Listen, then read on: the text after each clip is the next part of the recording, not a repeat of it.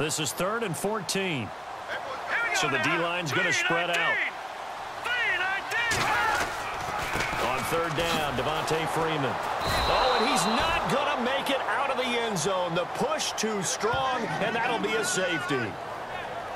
Well, I don't know if careless is the right word there, but bottom line, here in the fourth quarter tie game, you can't do that. You sure can, Brandon, and not only do you give up the lead, now you've got to turn around punt it away from your own 20 as well. So it's really a double whammy, but time's starting to become a factor.